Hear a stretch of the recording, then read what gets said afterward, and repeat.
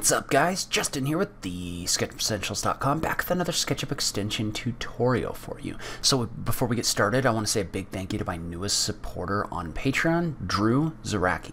Um, Patreon is the website where most of you know that you can support creators that you like on YouTube. One of the perks of being a supporter on Patreon is you get to vote on the extension that I cover every week. Well, this week we voted, and uh, my patrons voted on a new Extrude Tools tutorial. So let's go ahead and just jump into it. All right, so as most of you know, Extrude Tools is an extension by TIG that basically allows you to extrude different edges. So there, there's really two extrusion tool extensions that I like to use. There's Joint Push Pull by Fredo 6. What Joint Push Pull does is that allows you to push pull curved surfaces or multiple surfaces. So like this, you can push pull different surfaces and make different changes and things like that using a joint push pull. But then extrude tools works more with edges. And so I've done some other tutorials about this in the past, but in this case I wanted to do a tutorial specifically about the extrude edges by vector to object tool. And so what we're going to do in this case is, first of all, I want to say a big thank you to Box over on Facebook. Um, Box has one of the biggest uh, um, SketchUp GIF pages on Facebook. I will link to that notes down below. Um, he put out a video and kind of reminded me that this function was even contained in Extrude Tools. So I will link to that down below. Make sure you go check that out. Make sure you follow and like his page on Facebook. Um, so what I want to talk about in this case is I want to talk about the extrude edges by vector to object. And so there's another option here called extrude edges by vector. And so what that does is that'll allow you to extrude edges out into a face. So you can see how in this case I was able to extrude out this edge. And that's powerful by itself. However, what I want to do in this case, and I'm just going to thicken this using joint push pull, what I want to do in this case is I actually want to extrude these objects until they run into something and then I want them to stop. Well, that's what extrude edges by vector allows you to do, or extrude edges by vector to object. So the way that it works is when you have a number of edges, kind of like this, if you run it, then it will extrude your edges into a shape until they run into something and then it'll stop. So in this case, you can see on the underside of this building, you get those four red dots. Those four red dots indicate that this is going to extrude this until it runs into this face. And then it always gives you options to reverse the faces or explode the group, and you can kind of do what you want with that. But not only does that work with individual objects, your individual edges, it'll also work with multiple different edges. So you can see how I have a number of different squares here.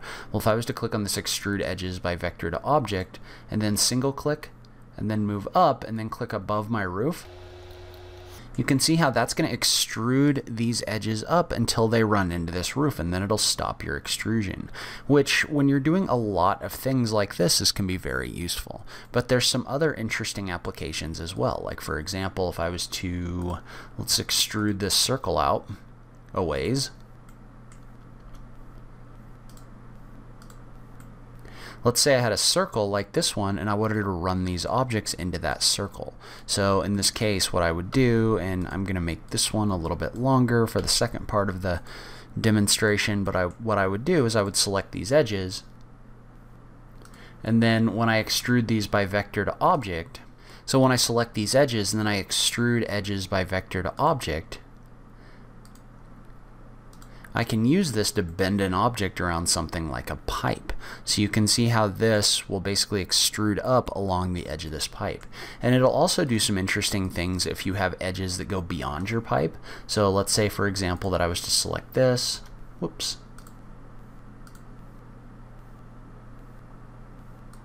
and run the tool this way, you can see how what this does is this will intersect my object or run my object into this pipe here and then it will continue the edges up around it.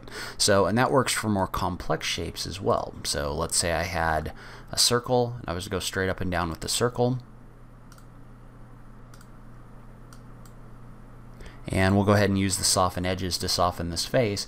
You can see how this fairly complex um, intersection works very well with this extension. Then you could also do the same thing, or if you were to extrude this up above,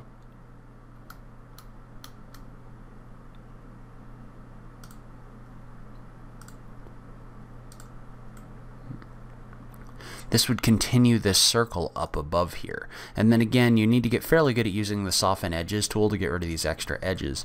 You can see how you can use this to wrap that around shapes like this pipe really easily. And then you could also use that for something like, let's say you had a shape like this one, where you wanted a series of columns to run up and then uh, run along the angle of this face. You could do the same thing. You could select these, extrude edges by vector to object. You can see how all of those give you kind of a red shape in here. So it's going to ask if I want to reverse the faces. I'll say no. Explode the group. I'm going to say no. And I'm going to come in and I'm going to soften these. So you can see how, if I look on the inside here, these now run directly along this slope inside this object. So that's where I'm going to end this video. Uh, like I said, remember to go like Box's page on Facebook. I will link to that in the notes down below. Leave a comment below. Let me know what you thought. Do you like this extension? Do you have some cool ideas for what you could do with this function? I just love having that SketchUp conversation with you guys. If you like this video, please remember to click that like button down below. If you're new around here, remember to click that subscribe button for new SketchUp content every week. If you like what I'm doing in this channel, please consider supporting me on Patreon.